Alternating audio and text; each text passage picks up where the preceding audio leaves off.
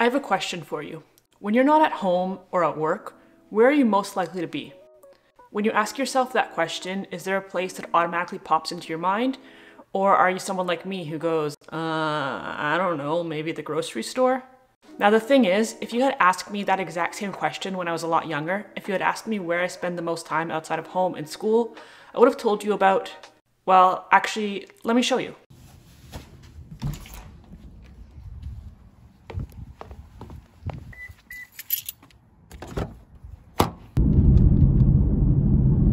One hour later. I would have told you about this park, where I spent pretty much every afternoon hanging out with all the kids in the neighborhood. I definitely got into my fair share of questionably legal mischief here, but we won't get into that in this video. Let's just say I had the best time ever. Or maybe I would have told you about this mall where I spent so many hours flipping through CDs in HMV and loitering in West 49. Both of those stores are long gone now, and there isn't really much going on here nowadays. Or maybe it was the coffee shop that used to be right here. It was called Williams and it was the place to be for teens and tweens pretty much every school night. They had these amazing Belgian waffles that were covered in ice cream and Nutella and berries. And well, they're long gone and apparently it is now a Middle Eastern restaurant. Or when I was in my early 20s, I probably would have told you about the bar that used to be right here. It was kind of a shithole, but they had open mic on Tuesday nights and karaoke on Sundays, and it was somewhere that you could hang out for a number of hours and be entertained without spending too much money. I don't live around here anymore, so I was just completely shocked to right now learn that it is now becoming a daycare. Um, I sure hope they changed out the carpets. I also feel like outside of a daycare is probably the sketchiest place I could possibly be filming, so we're gonna get out of here. Is it just me, or is this whole bit starting to feel a little bit like a Nickelback video? This is where I grew up. But today, the place that I spend the most time in other than home and work is probably the grocery store, which is actually incredibly depressing to think about. And perhaps the most depressing part of all is that this is not at all unique to just me. Now this is all because of something that I'm calling the death of the third place. And the third place is not something that I invented. In fact, it is a long-standing sociological concept that basically says that home is your first place, work or school is your second place, and your third place is wherever else you spend the most time, specifically for the purpose of socializing. Third places are meant to be community hubs, places where people of all socioeconomic backgrounds could gather and meet and hang out. Think about like Monk's Cafe in Seinfeld, or Moe's Tavern in The Simpsons, or Central Perk in Friends. Not gonna lie, I had to Google that last one. I've never actually watched Friends. Cue the millennial outrage. Sorry. Third places can be coffee shops, bars, parks, malls, clubs, libraries, basically anywhere meant to encourage public relaxation. Does anyone else think that public relaxation sounds like a perfect name for like an underground rub and tug parlor? Oh, I can't say that in a video, can I? And well, it's been thoroughly studied and well documented that the number of third places has been steadily declining for the last number of decades, and it's a problem. But before we get into that, let's talk about why it's happening. One of the main reasons is poor urban planning. As cities have become more and more car-centric and less walkable over the years, amenities have become less accessible, and it's a lot less common now to see people just walking around their neighborhoods and randomly patronizing small businesses. Urban sprawl and restrictive zoning laws are also largely responsible for the lack of affordable housing, which has caused a lot of people to have to live further from where they work. It's now very common to have a 30 to 60 minute commute in either direction, and understandably, when you have almost an hour's drive home and you still have to make dinner, take care of your kids or your pets, take out the trash, clean your house, shower, and pack your lunch for the next day, going out to socialize after work becomes really impractical other than maybe on a Friday. Of course, we also can't ignore the economic situation as a whole. As the cost of housing and groceries and gas and basically everything else has continued to go up, more and more people are finding themselves with no disposable income left after they pay their bills, which means that going out for happy hour isn't really even an option, especially when a single appetizer and cocktail can run you upwards of about $50 after tax and tip nowadays. But even that is just scratching the surface. Online shopping and technology as a whole has also played a large part in this. I did a deep dive on this in a video a few weeks ago, but as more and more people turn to Amazon over going to stores, and DoorDash over going to restaurants, and Netflix over going to the movie theater, it's become easier than ever to just never leave your house, and harder than ever for third places to even stay open. And of all of the businesses that managed to somehow circumvent all of this and remain profitable and stay open, a whole bunch of them got wiped out by the pandemic closures a few years ago. Many malls across North America have become desolate. Small local businesses have been devoured by their multinational competitors, and we're now living in a world where there's a Starbucks and a Walmart on almost every block. But basically, nothing else. I'd like to get my ear pierced. Well, better make it quick, kiddo. In five minutes, this place is becoming a Starbucks.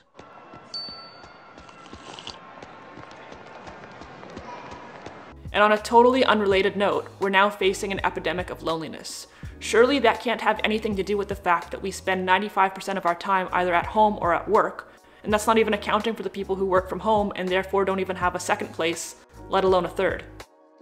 It's strange to think about because we are more connected to each other now than we ever have been at any point in history, yet we've never been more isolated or lonely. And unsurprisingly, that loneliness is leading to skyrocketing levels of depression and anxiety. I know personally that I've dealt with anxiety for most of my life. I've always been a ruminator and an overthinker, and the more time that I spend alone, the worse that tends to be. Over the years, I've found many different ways to cope with that, and one of the most important things that I have found, one of the biggest pieces of that puzzle, has been talking to somebody. So if you are experiencing depression or anxiety or really any other mental health struggles, I'd encourage you to give therapy a try with today's sponsor, BetterHelp. My favorite thing about BetterHelp is that because it's fully online, not only is it a lot more affordable than traditional therapy, but it's also a lot more convenient. You can do your sessions basically whenever you want, in whatever way works for you. You can either talk to your therapist on the phone or over Messenger or video call. Getting started is also super simple. All you have to do is go online and fill out a quick questionnaire, and then BetterHelp will custom match you with one of their licensed therapists who specializes in whatever it is that you need help with, often in as little as 48 hours. So to get started, head over to betterhelp.com slash according to Nicole or click the link in the description box down below. Doing so not only gets you a special discount on your first month, but also is the first step towards you taking control of your mental health. Thank you to BetterHelp for sponsoring this video. It seems like most major cities are now just shocking exhibits of income disparity, where everybody who can actually afford to live there is very wealthy and everyone else is basically in poverty. Like there are $4,000 a month studio apartments and homeless encampments, but nothing in between. See Toronto, Vancouver, Los Angeles, New York City, Portland, everywhere. With rent prices so absurdly high, it's no wonder that small businesses can't afford to operate. And that's not even touching on all the red tape and bureaucratic bullshit that municipalities force small business owners to jump through just in order to be able to even open a business in the first place, which makes it completely cost prohibitive unless you have the funding of a multinational corporation behind you. One of the ways that this culture shift away from third places has been the most noticeable, at least to me, is with kids. As a kid in the 90s and early 2000s, I spent pretty much every evening outside with my friends.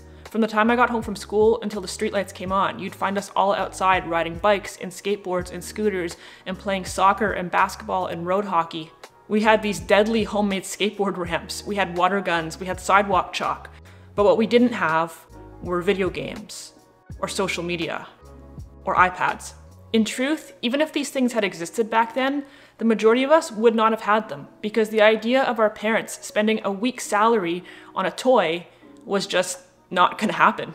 Most of us just didn't grow up with that kind of money, at least not in my neighborhood. And in the pre social media days, being broke was something you kind of just humbly accepted and learned to work around because there wasn't that same level of pressure for everybody to keep up with all the other faux rich parents who were on social media flexing that they just spent $2,000 on a Christmas gift for their kids. That just really wasn't a thing. So our social time was face to face on sidewalks and swing sets and these big green electrical boxes that we probably shouldn't have been sitting on. All of the kids on the street knew each other and we were mostly all friends because we had to be. It was just a bunch of us, so we had to learn to get along. But now it seems like kids hang out with their friends predominantly virtually when they're not at school. They play Fortnite or Minecraft or whatever other video games, honestly, I have no clue. And I know that they're talking to their friends through these headsets, but they're actually just sitting in their rooms alone at home.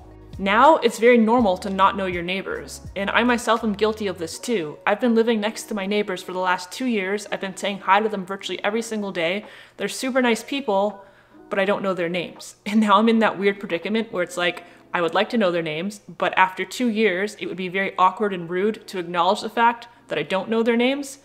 And so I don't know how to bring it up, so I just don't. My point is that most of us are completely addicted to our phones, and our social time with friends has been replaced by just sending each other memes back and forth over social media. And it sucks. Third places have become so few and far between nowadays that even when I make plans with somebody, I struggle to come up with something for us to do. It's like, wanna go wander aimlessly through a sad empty mall for a few hours? No, me neither. Wanna go out and spend like two hours of wages on the worst meal you've ever had at a shitty chain restaurant? No, me neither. What other options do we have? There's nothing to do. Maybe this is a hot take, but personally, I tend to also believe that the increased popularization and normalization of drug use is also correlated to the disappearance of third places. Obviously, I'm not like a scientist or whatever, so don't quote me on that, but I think it makes sense. Batman's a scientist. With nowhere to go and nothing to do, you might as well get high, right? I remember watching a video a couple years ago with Mac Miller, and he was talking about how when he would be sitting in a room alone working on his music, time would fly by so much faster when he would use. It started by me just sitting inside all day, and then it's like, then you get bored. Then you're like, well, I could just be high, and I could have a whole adventure in this room. And well, we all know how unfortunately that ended, and of course, he's far from the only one.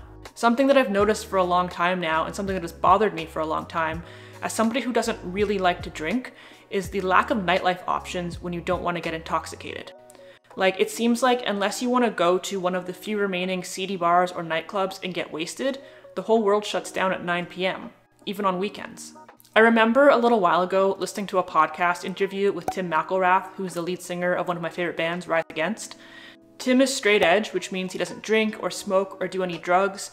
And he was talking about how he initially got into music and initially started playing guitar because as a kid who didn't drink and didn't party, he didn't really have anything else to do with his time and he was bored. So learning to play music and jamming with his friends was a fun way to fill the time and he talked about how he wonders if at 14 years old somebody had put a smartphone in his hands, if he ever would have picked up a musical instrument to begin with. If he was bored and he had had the ability to just open up Instagram and waste a few hours, would he have ever started a band? It's crazy to think about how something as simple as a social media app could have completely changed the trajectory of his life, not to mention the millions of people that his music has touched over the years. And it just blew my mind to hear it articulated that way. I think that so much creativity and passion and connection blooms from boredom and from a lack of other options.